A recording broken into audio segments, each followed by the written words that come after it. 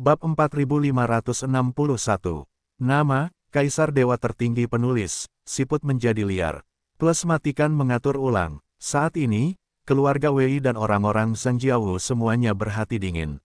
Muyun melihat sekeliling, matanya tertuju pada Sue Fuying dan Huo Ketian, dan berkata langsung, tunggu apa lagi. Jangan lepaskan apa pun. Mereka mengangguk dan segera menembak. Pertarungan berlanjut. Dengan Wen Yuewen, tidak ada orang kuat di surga yang bisa melarikan diri. Hingga akhirnya, Gedung Furong membunuh dan melukai beberapa Feng Tianjing, dan seluruh prajurit Feng Tianjing dari keluarga Zhang Jia dan Wei tewas. Pada saat ini, Mu Yun berdiri di udara, menelan dan memurnikan pembuluh darah, membuka, dan sejumlah besar esensi, ki, dan roh mengalir ke dalam tubuhnya. Di lautan jiwa, semangat dan semangat penuh berkumpul kembali.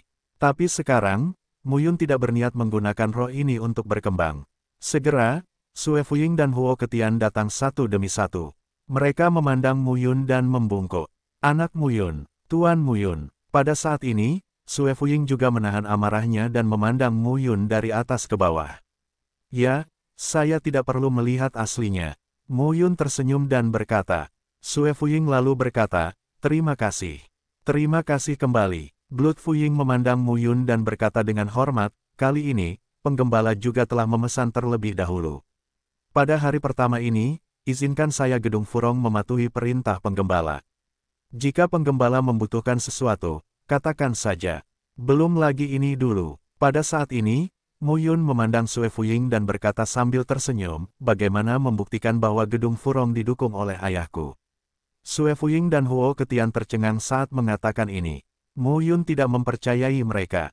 Apakah kamu tidak mempercayai kami? Huo Ketian berkata saat ini, kalau begitu aku baru saja menembak. Pertama-tama, Wei Wenbai dan Zhang Boyun benar-benar orang yang ingin aku bunuh. Kedua, jika kamu benar-benar didukung oleh ayahmu, aku tidak bisa duduk diam. Sekarang masalahnya sudah teratasi, tentu saja Anda perlu membuktikan identitas Anda. Petik 2. Mu Yun ingat dengan jelas bahwa Jiang Baijing dan Jiang Ningzu mengeluarkan kenang-kenangan ayah mereka ketika mereka melihatnya.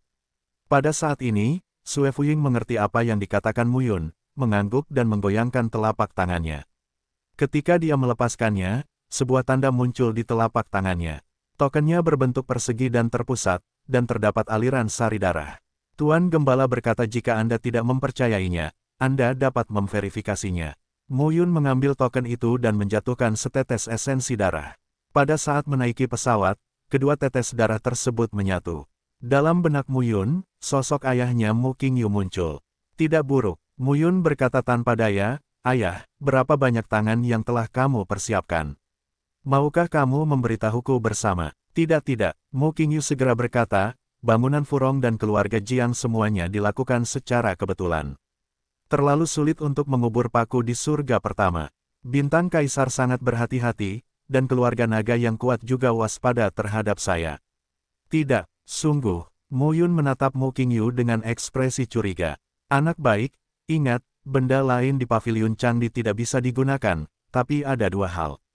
Tolong beritahu kamu. Mendengar ini, Muyun menajamkan telinganya dan mendengarkan dengan seksama. Yang pertama adalah formula seni bela diri yang diciptakan oleh Kaisar Chang sendiri, formula Kaisar Chang Tiangang.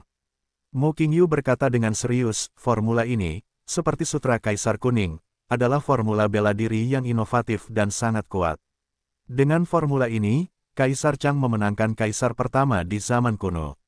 Anda harus mendapatkannya dengan segala cara. Petik 2. Bahkan jika Jiang dan Furong Luwu mati sebagai akibatnya. Mu Yun tampak serius dan mengangguk. Yang kedua adalah senjata naga hantu, yang merupakan salah satu dari 13 harta karun kelaparan yang paling berharga. Senjata naga hantu, apakah masih tanpa pemilik? Hong Huang 13 harta karun. Seribu cermin ilahi yang kedua ada di tangan ayah saya. Tombak surga ketiga dan baju besi surga kuning keempat ada di tangan Kaisar Ming. Palutor, segel-segel Tuhan, kapak Keitian yang tak terbatas. Saya tidak tahu di mana itu. Prasasti Dewa Abadi diubah menjadi sembilan-sembilan keping sembilan roh untuk merebut prasasti langit, yang tersebar di tubuh sembilan istri mereka. Kipas Dewa Burung Pipit ada di tangan Ibu Yeyusi. Pedang bintang matahari dan bulan ada di tangan kakak laki-laki tertua Lu King Feng. Cermin Tianji terletak di pavilion Tianji di surga ke-9. Oven langit dan bumi ada di tangan mereka sendiri. Senjata naga hantu, peringkat ke-12, awalnya ada di pavilion candi. Tunggu, pada saat ini, Mu Yun berkata, Ayah, baru saja kamu mengatakan bahwa formula geng surga Kaisar Kuning, yang sekuat klasik Kaisar Kuning. Klasik Kaisar Kuning, bukankah itu kuat? Petik 2, Sutra Kaisar Kuning, serangan lima gaya, tidak ada bandingannya di dunia. Apakah kamu tidak berlatih? Tidak bisakah kamu menyadarinya? Mu Yun menggelengkan kepalanya. Mu Qingyu tertegun dan kemudian berkata, itu kesalahanmu. Aku menaruh sutra Kaisar Kuning ini di istana Kaisar Kuning. Saat kamu pergi ke reruntuhan suci Xiaoyao, dia adalah orang yang berlatih. Mu Qingyu berkata lagi, kamu tidak perlu mengkhawatirkan hal-hal lain. Tidak akan pernah ada beberapa kaisar surgawi di sekitarmu kali ini. Jika kamu dapat membunuhmu, hanya Kaisar Sing, tetapi aku menemukan seorang penolong untuk menghadapinya. Adapun gelar dewa dan kaisar lainnya, kali ini tidak akan muncul. Jangan khawatir, jangan dibunuh oleh calon kaisar. Muyun berkata dalam hati, Ayah, calon kaisar, aku tidak bisa bertarung. Apa yang Anda takutkan? Mu Qingyu berkata sambil tersenyum, jika dia dapat menerobos dan mencapai alam kaisar setengah langkah, dan kaisar kuasi dapat membunuh tanpa kesalahan, dia tidak akan melawan kaisar surga, tetapi dapat menghadapi kaisar surga. Baiklah, ayah, kapan ayah akan bertemu denganku? Aku punya banyak pertanyaan yang tidak ku mengerti. Aku ingin bertanya padamu, kata Muyun. Mu Qingyu melirik Muyun dan kemudian berkata, saya tahu apa yang ingin Anda tanyakan, tetapi Anda harus memahami dan memahami banyak hal sendiri, karena apa yang saya tahu mungkin tidak benar, atau mungkin itu yang diinginkan beberapa orang dari saya tahu. Apakah kamu kaisar dewa yang sebenarnya? Mu Yun berseru. Tidak, petik dua petik dua, langsung saja. Apa perbedaan antara kamu dan Kaisar Ming? Mendengar ini, Mu Qingyu berpikir sejenak dan berkata, saya hanya bisa mengatakan bahwa dia tidak dapat membunuh saya sekarang. Tidak bisa membunuh. Itu pertarungannya. Mu Qingyu berkata lagi, nak, kamu harus mengawasi tujuh tingkat surga. Ketika waktu ini berakhir, diperkirakan gelar dewa dan kaisar yang tersembunyi itu akan muncul di dunia Changlan. Pada saat itu, ratusan para kaisar akan bersaing, dan musuhmu bukan hanya Kaisar Ming. Jangan terbatas pada hidup dan matimu sendiri. Pikirkan lebih banyak tentang ukuran dunia, luasnya dunia persilatan, dan cara kerja segalanya. Muyun bergumam, aku sedang memikirkan istri dan anak-anakku yang memanaskan Kang. Kentut, Mu Qingyu berkata langsung, kamu adalah anakku, bisakah aku tidak mengetahuinya? Bahkan jika itu untuk melindungi keluarga dan teman-temanmu, kamu masih memiliki keinginan untuk memenangkan dunia di dalam hatimu. Ini adalah warisan dari para penggembala. Kami, warisan para penggembala, akar penggembala berada dalam batas manusia. Bukankah warisannya sebesar itu? Mu Qingyu memandang Mu Yun dan berkata, Yah, kamu pandai berlatih. Jika kamu tidak mengerti, kamu akan mengerti secara bertahap di masa depan. Jangan terlalu banyak berpikir, hanya jika kamu kuat kamu bisa hidup. Kamu dapat melihat bahwa Lady tidak ingin dikendalikan atau hidup sebagai bidak catur dalam hidupnya. Kamu harus menjadi pemain catur dan pemain tata letak. Jadi begitu, melihat penampilan Mu Yun, Mu Qingyu berkata lagi, tidak apa-apa, jangan khawatir, Kaisar Ming tidak dapat membantumu, masih ada aku. Yah, berbicara tentang ini, Mo Qingyu berkata lagi, orang-orang di gedung Furong dan keluarga Jiang dapat menggunakannya dengan aman. Tidak ada yang akan mengkhianati para penggembala kita. Ya, dengan kata-kata ini, kekuatan esensi darah Mu Qingyu menghilang. Pada saat ini, Sue Fuying dan Huo Ketian sama-sama memandang Mu Yun. Tentu, Mu Yun sedikit kecewa jika dia tersesat. Dia memang sudah lama tidak bertemu ayahnya. Jika dia tidak mau, itu pasti salah. Setiap kali kita bertemu, kita kosong. Dan Mu Qingyu selalu merasa sangat tergesa-gesa dan lelah, yang membuat Mu Yun tidak nyaman di lubuk hatinya. Formula Chang di Tiangang, senjata naga hantu. Mu Yun berbisik, aku akan berhasil.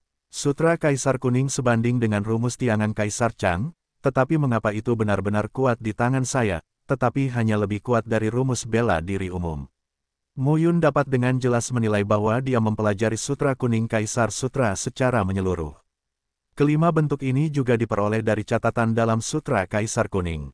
Pada saat ini, Sue Fuying memandang Mu Yun dan berkata, Tuanmu, apa yang harus kita lakukan selanjutnya? Mu Yun mengangkat kepalanya dan berkata, cari dulu pemilik darah Furong. Jika kamu dapat menemukan Jiang Jiao, sebaiknya kamu berkumpul. Jika pavilion Changdi ditemukan, semua pihak harus segera masuk. Pada saat itu, semakin kuat kekuatan yang kita kumpulkan, tidak akan ada omong kosong di Istana Xingshan. Ya, pada saat ini, lebih dari selusin seniman bela diri di gedung Furong mulai memperbaiki dan beristirahat satu demi satu. Mu Yun duduk di atas batu dan menundukkan kepalanya dalam meditasi. Yue Wen, hah, apakah kamu tahu sutra Kaisar Kuning? Mu Yun bertanya dengan santai. Aku tahu, Wen Yue Wen berkata dengan lemah, ketika Kaisar Chang masih hidup di masa lalu, Kaisar Kuning siap menciptakan keterampilan yang kondusif bagi peningkatan mereka yang mendominasi seni bela diri. Namanya adalah Sutra Kaisar Kuning. Nanti, saya mendengar bahwa Kaisar Kuning menghabiskan waktu lama untuk menciptakan metode ini, dan akhirnya terbentuk. Saya benar-benar ingin mendengar guru menyebutkannya. Wen Yuewen mengerutkan kening dan berkata, Oh, iya, tampaknya ketika Kaisar Kuning menciptakan Sutra Kaisar Kuning, itu berada di Istana Candi, yang konon merupakan lapangan seni bela diri di Istana Tianyao. Istana Tianyao adalah lapangan seni bela diri. Mata Muyun berbinar, latihan sutra kaisar kuningnya sepenuhnya sesuai dengan catatan. Seharusnya tidak ada masalah, namun ayah saya jelas memahami bahwa sutra kaisar kuning sangat kuat, dan bahkan membandingkan sutra kaisar kuning dengan rumusan kaisar Chang Tiangang. Jadi pasti ada sesuatu yang salah di antara mereka. Jika Anda dapat membuat sutra Kaisar Kuning menjadi sangat kuat, itu akan menjadi gerakan pembunuhan yang kuat lainnya di tujuh tingkat.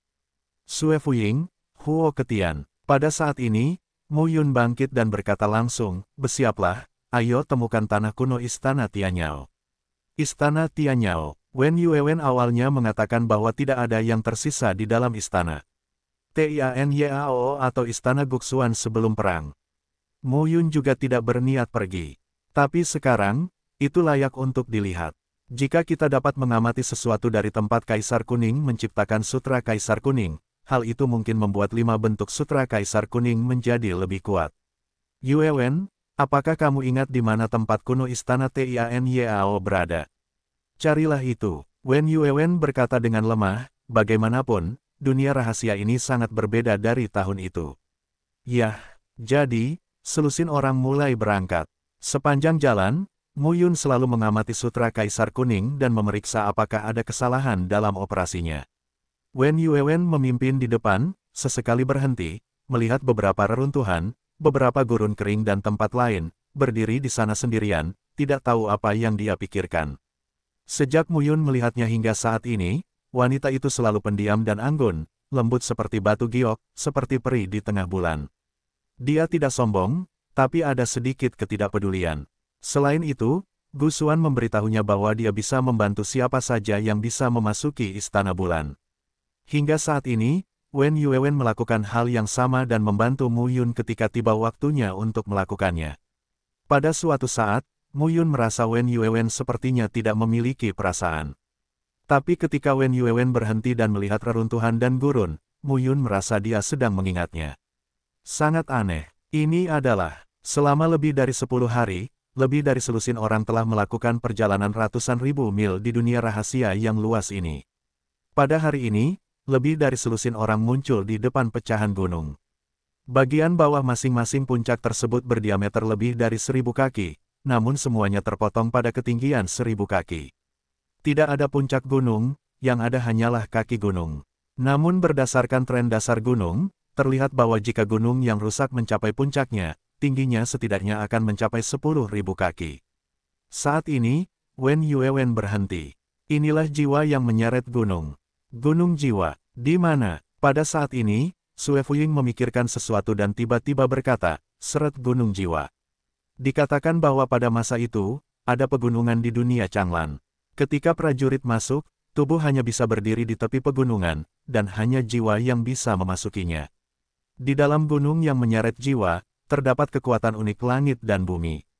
Wilayah yang terbentuk seperti medan magnet dapat sangat menyehatkan jiwa para seniman bela diri. Tetapi ini adalah legenda yang tercatat dalam buku-buku kuno. Setelah puluhan juta tahun, tidak ada seorang pun yang melihat jiwa menyeret gunung. Apakah itu benar-benar ada? Wen Yuewen mengangguk saat ini dan berkata, Kaisar wanita Tianyao lah yang langsung pindah bersama seluruh pegunungan, pindah ke dekat istana Tianyao, dan berlatih untuk anak-anak istana Tianyao. Pada saat ini, Wen Yuewen mendekati gunung yang rusak itu dan berkata lagi, sayangnya, gunung itu telah hancur dan tidak memiliki efek magis di masa lalu. Gunung penarik jiwa ini dapat meredam jiwa, yang cukup aneh seperti gunung dewa api yang Anda injak ke dalam. Muyun memandang pegunungan di depannya dengan wajah sedih. Jika Anda bisa memoles jiwa Anda, mungkin akan lebih mudah membunuh 10 orang di tujuh tingkat alam Fengtian. Bagaimanapun, kekuatan serangan mereka yang mendominasi seni bela diri terutama tercermin dalam kekuatan tubuh, kekuatan batas, kekuatan mendominasi Tao, dan kekuatan jiwa.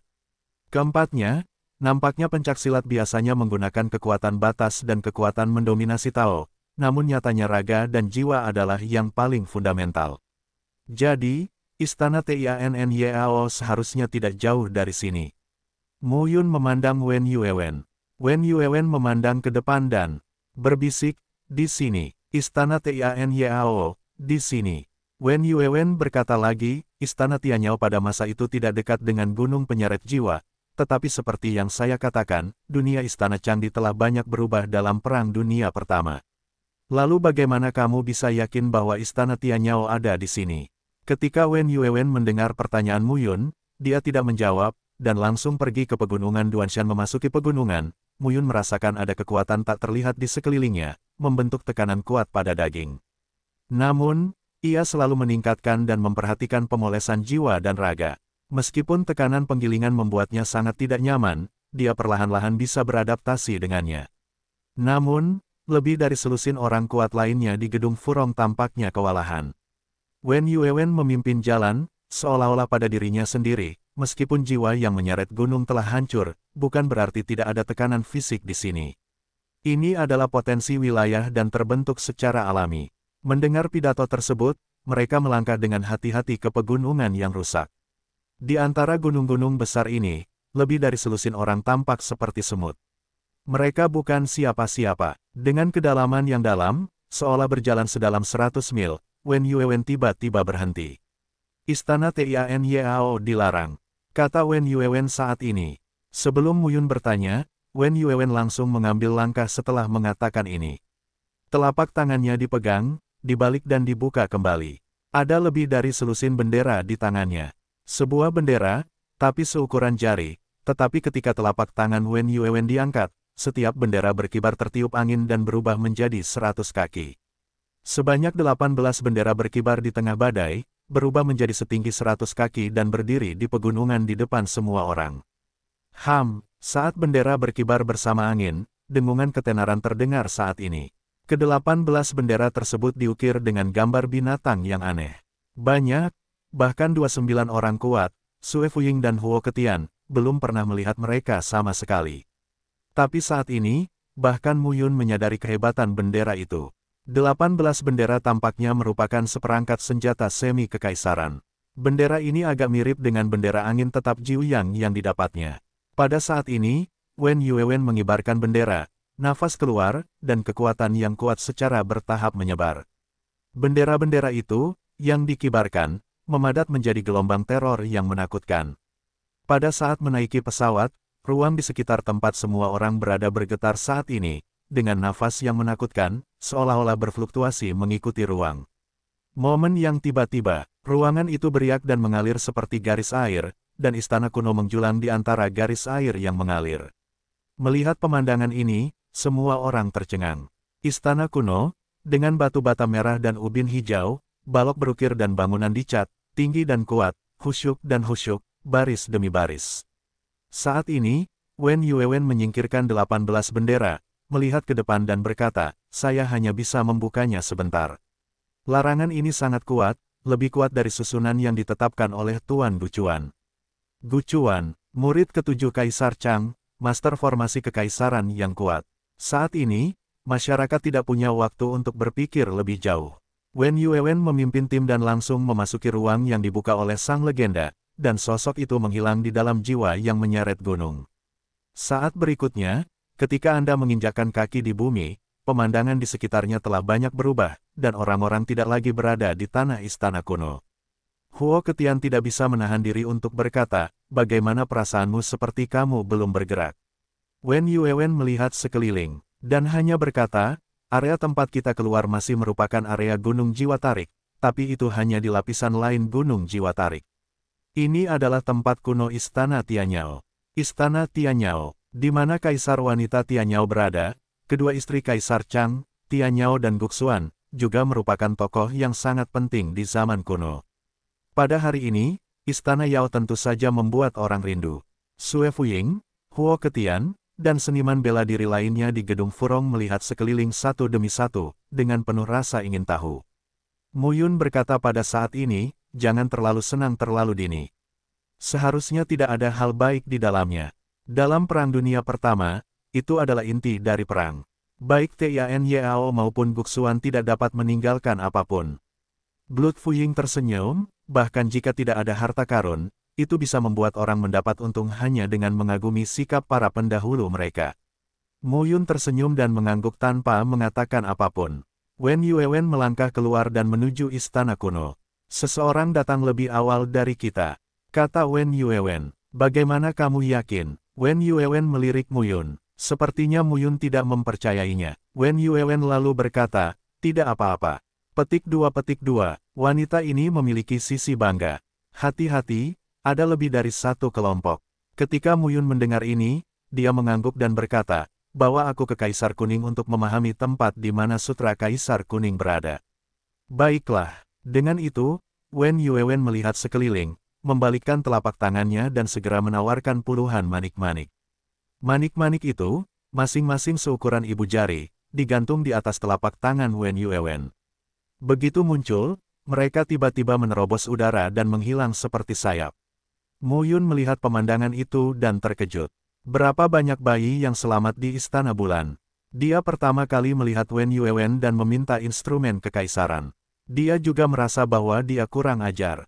Tapi sekarang, melihat barang semi kekaisaran dan barang batas atas Wen Yuewen, dia tampak seperti wanita kaya kecil yang tidak punya uang. Jika saya tahu, saya akan meminta dua lagi. Manik-manik itu melesat keluar dan menghilang. Segera, Wen Yuewen berkata, ikutlah denganku. Dengan itu, sosok Wen Yuewen melintas dan menuju ke depan. Muyun segera menyusul dan tidak bisa menahan diri untuk berkata, mengapa kamu tidak melawan langit? Wen Yuewen kembali menatap Muyun dan berkata, ada orang lain di sini. Saya tidak tahu di mana mereka berada. Jika Anda melawan langit, anda mungkin ditemukan dan ditatap. Lagi pula, istana Yao hari itu dibangun oleh Tuan Gucuan. Ada barisan pembunuh perbatasan di atasnya. Saya tidak yakin di mana ada. Kalau masih ada, akan sangat merepotkan. Muyun memandang Wen Yuewen, gemetar sambil tersenyum dan mengangguk. Saat ini, lebih dari selusin orang keluar bersama Wen Yuewen. Setelah beberapa saat, kami menemukan bahwa istana Yao ternyata sangat besar pada hari itu. Di mana istana kunonya? Itu adalah kota kuno. Apalagi, ada barisan pegunungan lain yang membentang puluhan mil di antara kota-kota kuno tersebut. Pada zaman dahulu, kekuatan istana Changdi sungguh tak terduga. Sekitar setengah hari, Wen Yuewen memimpin Muyun, Sue Fuying, Huo Ketian dan lainnya ke suatu tempat di istana kuno. Di depan adalah bidang seni bela diri. Namun, ada empat gunung tinggi di sekitar lapangan pencak silat, tingginya ribuan kaki dan dikelilingi awan. Diameter lapangan seni bela diri yang begitu besar hampir 10.000 kaki, dan terdapat pola Tao di sekelilingnya. Wen Yuewen melihat ke depan dan berkata, ini dia. Pada masa itu, ini adalah tempat para praktisi seni bela diri di Istana Tiannyao. Suatu ketika, Kaisar Kuning datang ke sini untuk mengamati para praktisi seni bela. Diri di istana Tianyao bersama dengan kaisar wanita Tianyao. Tiba-tiba, dia menjadi acuh tak acuh. Dia masuk bidang seni bela diri dan tidak bergerak selama tiga tahun. Tiga tahun kemudian, dasar sutra kaisar kuning muncul, dan kemudian dikembangkan dan diselesaikan selangkah demi selangkah oleh kaisar kuning. Muyun melihat ke bidang seni bela diri. Dengan kata lain, ini adalah tempat asli kaisar kuning menciptakan sutra kaisar kuning. Jadi, perubahan suasana hati seperti apa yang dia alami di sini. Aku akan melihatnya. Hati-hati, Wen Yuewen berkata, ini dulunya adalah tempat latihan bagi mereka yang menyegel alam surga. Ada banyak susunan di tempat latihan. Untuk memasuki bidang ini, Anda harus berada di lebih dari enam tingkat alam surga. Mo Yun tercengang. Untungnya, saya telah mencapai Kizong, jika tidak, saya bahkan tidak bisa masuk. Tapi kamu tidak perlu khawatir. Setelah sekian lama, susunannya mungkin gagal dan tidak akan ada bahaya. Yah, Mo Yun melangkah ke lapangan. Dari luar, ada empat gunung di sekelilingnya dan lapangan pencak silat di tengahnya. Tidak ada bedanya, namun saat dia memasukinya, untuk sesaat, dunia di sekitarnya seakan berubah. Mo Yun tertegun dan berhenti. Setelah memasuki lapangan, empat puncak di sekitarnya berubah saat ini. Pada saat ini, puncak dari puncak setinggi 4.000 kaki itu tampaknya telah berubah menjadi empat pilar persegi, seperti pangkalan susunan, berdiri di empat arah. Pada saat ini, Muyun dengan jelas merasakan ada garis batas di empat sisi bidang seni bela diri, naik, seperti mengatur ke dalam jaring penjara langit dan bumi, menjebaknya di tengah. Pada saat ini, suara gemuruh terdengar dalam sekejap. Salah satu dari empat gunung, tubuh Kong Wu, tiba-tiba keluar. Fisiknya seratus kaki, matanya menatap Muyun seperti lonceng kuno, dan tubuhnya seperti lembu, tapi dia jauh lebih besar dan lebih kuat dari lembu. Apalagi anak sulung mempunyai sepasang tanduk yang berkilauan emas. Di luar barisan, Sue Fuying dan yang lainnya juga melihat pemandangan ini. Tanduk emas Kuiniu, Wen Yuewen berkata, di zaman kuno, sejenis sapi dewa dengan kekuatan kasar yang kuat, Muyun, hati-hati. Ya, binatang buas yang berevolusi dari barisan besar seharusnya memiliki kekuatan 7 hingga 10 tingkat. Kamu dapat membunuh 10 tingkat tanpa bahaya. Sebelum Wen Yuewen selesai berbicara, sapi tanduk emas Kui bergegas maju tepat waktu. Tanduk emas langsung melepaskan cahaya silang, seperti sabit, memotong ke arah awanmu. Raungan terdengar saat ini, pedang ilahi Tian Kue dikorbankan, dan segel pedang Susaku langsung terkondensasi. Delapan badan pedang palsu telah terintegrasi. Pedang itu segera menebas cahaya tanduk emas. Keduanya bertabrakan dan bumi bergemuruh. Namun, dasar bidang seni bela diri sangat keras, dan terdapat barisan tertutup dan terlarang di sekitarnya. Tabrakan keduanya langsung membuat kekuatan batas bergulir dan bergolak di bidang pencak silat, namun tanah dan sekitarnya tetap utuh. Sembilan kekuatan. Muyun akan menilai kekuatan binatang itu setelah pertarungan. Pada saat ini, tampaknya Jin Jiao Kuiniu juga terkejut karena dia gagal membunuh Muyun. Dia menyentuh tanah dengan empat kukunya dan memuntahkan kabut putih di antara hidung dan nafasnya. Sua, sosoknya keluar dalam sekejap. Ia memilih cara yang paling kejam dan langsung dan langsung menuju ke Muyun. Pada saat sosoknya keluar, ada campuran guntur dan kilat di sekujur tubuhnya, yang berubah menjadi jaring petir dan menutupi tubuhnya. Muyun mencibir melihat pemandangan itu. Dia tidak takut dengan sembilan alam. Kini, alam lipat tujuh miliknya mendominasi jalan sepanjang 8.200 meter. Superposisi kekuatan ilahi dari jalan yang mendominasi ganda benar-benar sebanding. Dengan 8.500 meter dari alam beruas 8, dan kekuatan jalan yang mendominasi bahkan lebih kuat. 10.000 guntur keluar dari tubuh, dengan lima pola guntur, kilatan cahaya. Seluruh tubuh Muyun juga tampak berubah menjadi kilat, dan suara berderak terdengar. Satu orang, seekor sapi, pada saat ini, dengan cara yang paling keterlaluan, dengan cara yang paling langsung, memukul dengan keras, memukul bersama-sama. Boom, boom, boom, boom, boom, boom, boom, boom, boom, boom, boom, boom, boom, boom, boom, boom, boom, boom, boom, boom, boom, boom, boom, boom, boom, boom, boom, boom, boom, boom.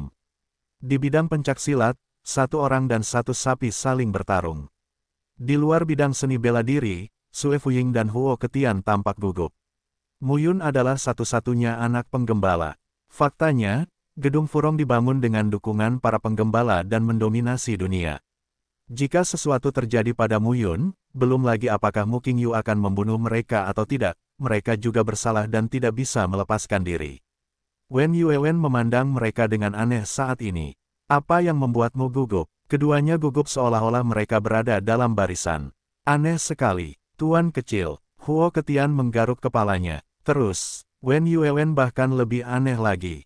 Ketika kamu melihat level binatang itu dalam 10 hari, kamu tidak akan membunuh binatang itu dalam 10 hari. Karena itu, mereka masih khawatir. Wen Yuewen tidak mengerti untuk sesaat, jadi dia berhenti mengurusnya. Dia sampai di loteng di sisi lapangan seni bela diri. Di lantai dua, dia bersandar ke jendela dan melihat ke dalam barisan besar. Mu Yun berjuang keras. Bang, suara yang dalam terdengar. Tubuh sapi tanduk emas kui jatuh ke tanah dan memercikkan debu. Mu Yun bernapas saat ini. Meskipun tingkatnya sembilan kali lipat, itu jauh lebih kuat daripada prajurit manusia sembilan kali lipat. Mode pertarungan dan penggunaan kekuatan batas semuanya adalah level kelas 1. Mu Yun berdiri di lapangan seni bela diri dan menunggu dengan tenang. Namun, setelah menunggu beberapa saat, saya tidak menunggu ketenangan. Sebaliknya, di gunung tinggi lainnya, seekor singa merah menyala dengan tubuh 300 kaki dan bersisik berjalan keluar selangkah demi selangkah. Juga, Mu Yun tercengang. Wen Yuewen, Mu Yun meninggikan suaranya dan berkata, bagaimana lagi? Di loteng, Wen Yuewen melihat ke arah Mu Yun, dan kemudian berkata dengan tenang, mereka yang memasuki formasi untuk pertama kalinya harus mendapatkan kekuatan yang dikenali dari formasi besar sebelum mereka dapat memasuki formasi dan berlatih berpasangan. Di sana totalnya tujuh putaran.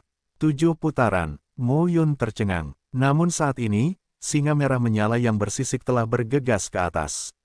Tubuh Kong Wu yang kuat memiliki kekuatan kekerasan yang menakutkan. Apa yang sedang terjadi? Pada saat ini, nafas yang menakutkan muncul. Momentum singa merah berapi-api itu masih terlihat sembilan, namun penindasan yang diberikannya tidak sebanding dengan tanduk emas Kui Niu barusan. Muyun mengertakkan gigi dan melangkah keluar dalam satu langkah.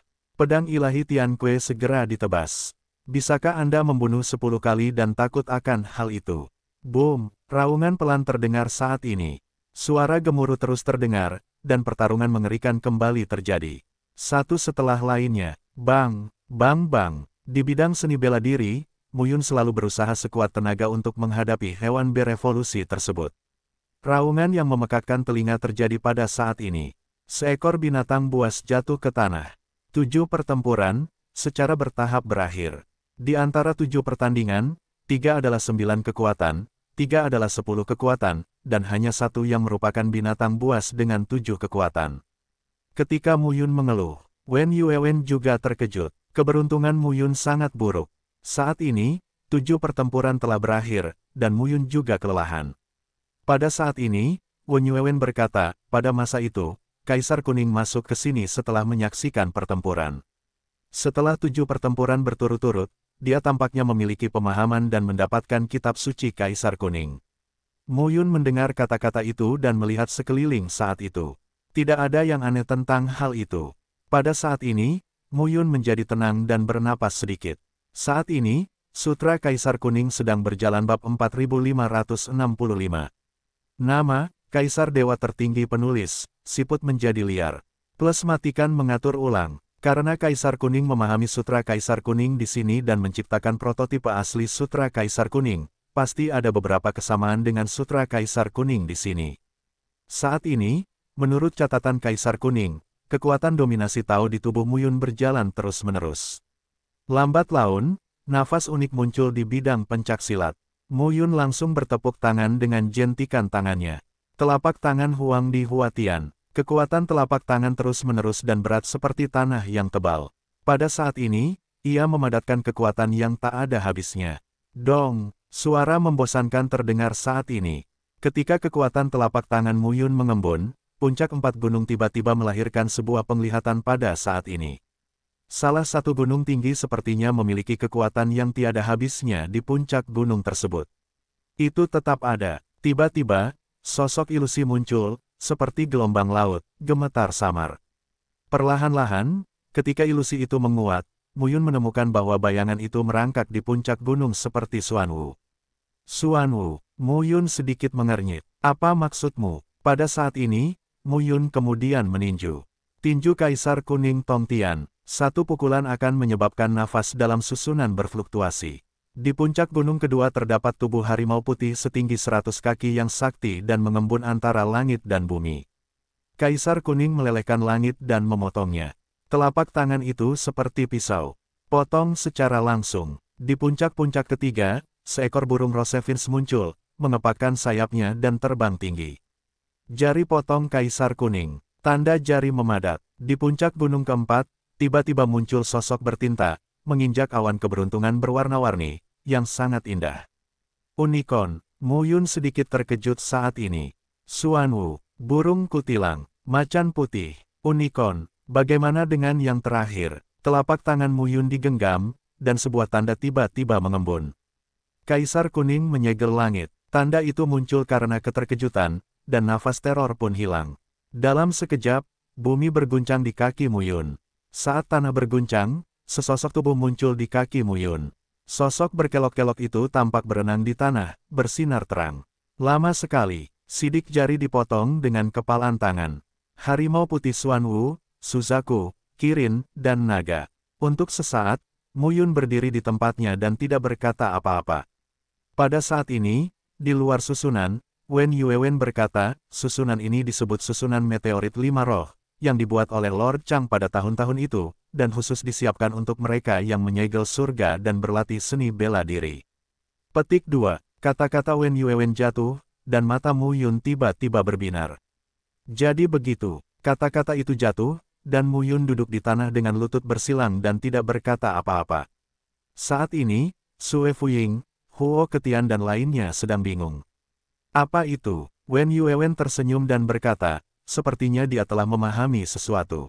Anda tidak perlu berdiri di sana. Mungkin perlu waktu. Pada saat ini, Muyun benar-benar memahami sesuatu. Sutra Kaisar Kuning. Ini terutama adalah keterampilan melemparkan Tao dan menghubungkan Tuhan, yang memiliki makna panduan yang besar bagi mereka yang mendominasi seni bela diri untuk meleburkan Tao yang dominan. Muyun selalu berpikir bahwa lima bentuk kental baru saja ditambahkan oleh Kaisar Kuning ketika dia menciptakan Sutra Kaisar Kuning. Inti dari Sutra Kaisar Kuning adalah membuka jalan dan menghubungkan para dewa. Serangan lima gaya hanyalah tambahan. Ini selalu menjadi apa yang dipikirkan Muyun. Tapi sekarang, Muyun merasa dia salah. Inti sebenarnya dari Sutra Kaisar Kuning adalah lima bentuk ini. Apa yang disebut casting Tao dan menghubungkan Tuhan hanyalah membuka jalan bagi lima tipe ini. Kaisar Kuning yang luar biasa. Tak heran, Tak heran jika Kaisar Chang menjadi kaisar pertama di zaman dahulu, dan Kaisar Huang bisa menjadi kaisar pertama di zaman dahulu, yang lebih kuat dari Kaisar Ming. Apa yang baru saja dipikirkan Muyun adalah inti dari lima gaya ini. Dia mempraktikkan sutra Kaisar Kuning. Kelima gaya ini sudah matang dan busuk sampai ke tulang. Tapi kekuatannya memang kuat, tapi yang pasti tidak sekuat yang ayahku katakan. Dan sekarang dia akhirnya mengerti alasannya. Arti, Tinju atau telapak tangan, dia mengintegrasikan gerakan, dan kekuatan batas mendominasi pengoperasian kekuatan Tao, tetapi pada intinya, dia tidak memiliki makna. Kaisar Kuning mengubah telapak tangan surgawi, yang menggabungkan makna Suanwu.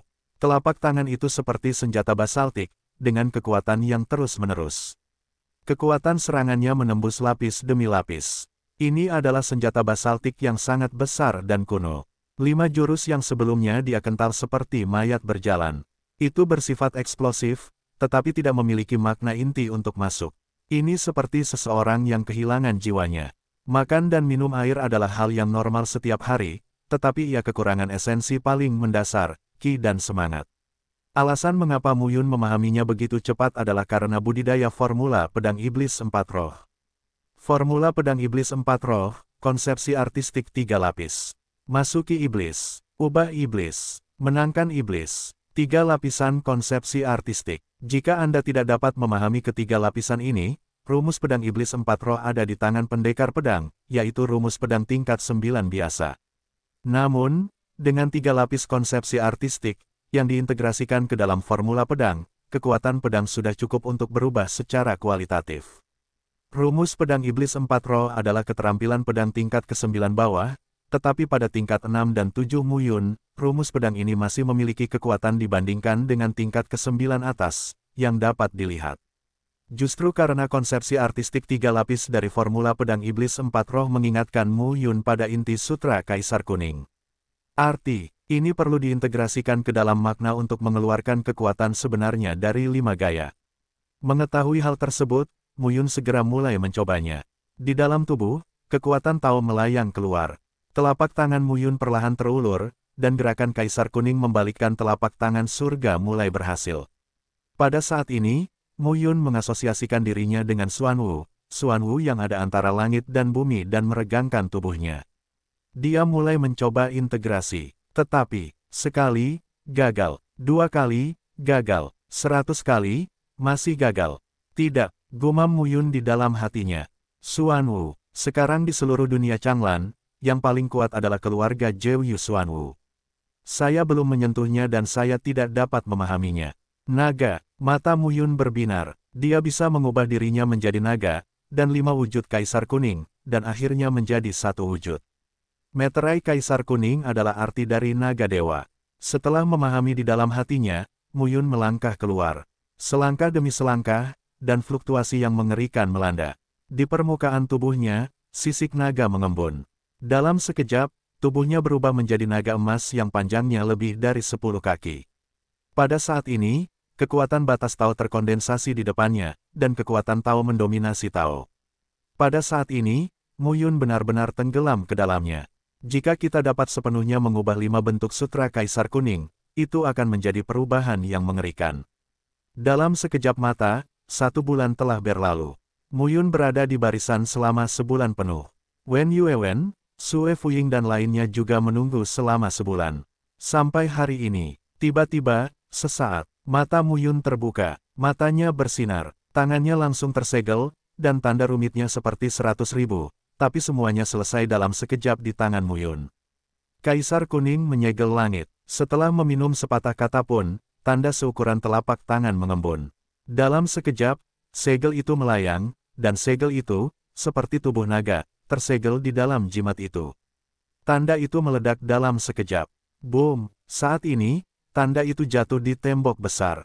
Suara berderak terdengar saat ini, dinding susunannya rusak dan tanahnya retak. Saat ini, Wen Yuewen, Sue Fuying dan lainnya semuanya dikejutkan oleh kecelakaan yang luar biasa ini. Apa masalahnya? Apa yang telah terjadi? Banyak orang berkata dengan ngeri.